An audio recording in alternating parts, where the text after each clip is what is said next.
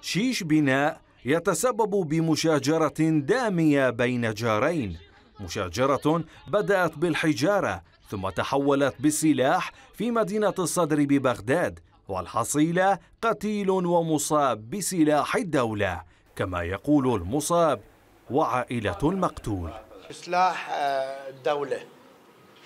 وعلى مود شيش مال بناء قال له بس مفد مترتين حذف اللي غاد مقدمين باب بيتنا وأنتم طلبتوا إنه شوي بعد اي إي بعد. فراح للبيت خبر على أخوه جايب مسدس وتعارك ويا أخويا وظل يرمي همينه وأكو تصوير وكله دلائل موثقة. الضحايا شنو صار؟ الضحايا أخويا انقتل و, و...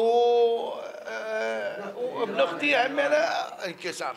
هذا طبعا جلي البيت ورمى عليه.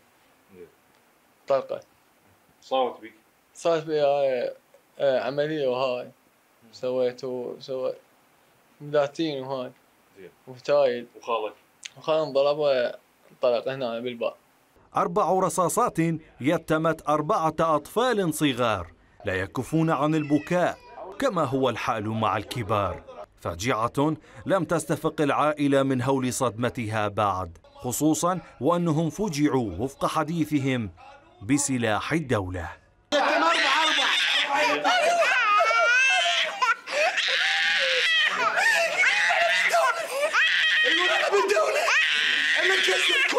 الدولة من الطتا رتبة والطتا سلاح يحامي به على الشعب على المواطنين. مو يجي يوقف لي هنا بالشارع يسحب لي مسدس ويضرب على العالم طلقات وابن الصوب ليش إحنا عايشين بأمان الله وأمان الدولة؟ وين أمان الدولة؟ وينه؟ وبعد الحادثة أقدمت العائلة على رفع دعوى قضائية بحق من تسبب بها وبانتظار إكمال إجراءات التحقيق لتنفيذ القصاص العادل الذي يطالبون بحسب قولهم أن يكون الإعدام من العاصمة بغداد. بدر الركابي التغيير.